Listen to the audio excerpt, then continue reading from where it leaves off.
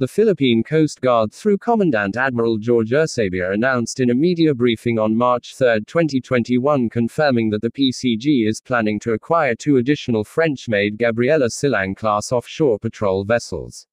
The BRP Gabriela Silang is currently the largest aluminum monohull patrol vessel operated by the Philippine Coast Guard, built by French shipbuilding firm, OCEA.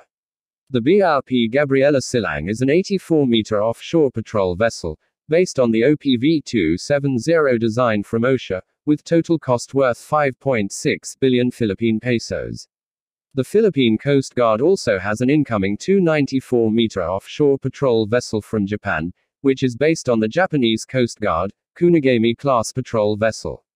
The 294 meter offshore patrol vessel is currently under construction by Mitsubishi Shipbuilding in Japan.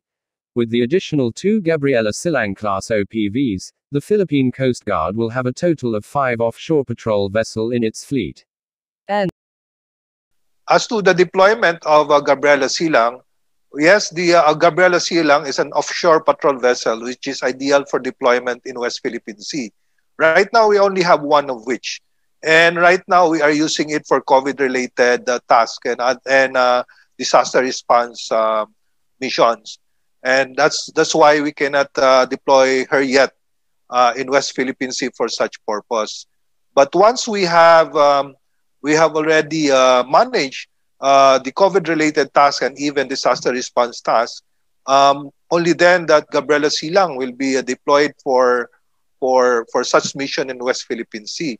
But of course, she cannot sustain such patrol. It needs uh, other vessels to help her.